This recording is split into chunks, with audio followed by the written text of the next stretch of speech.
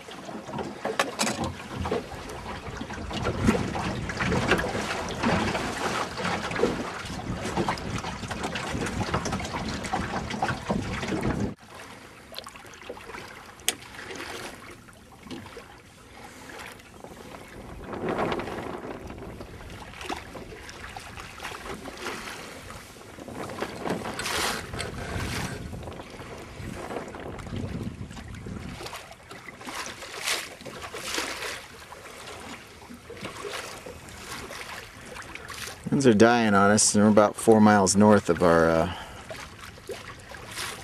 boat ramp, so we're gonna find a little bit of a breeze and follow her downwind back home. Winds are dying quickly.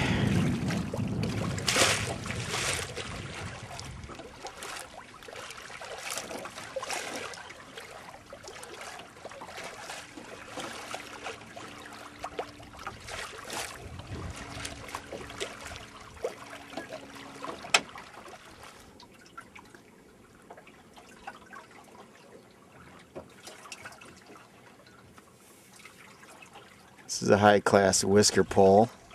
I managed not to use duct tape. So it's working out pretty good for us.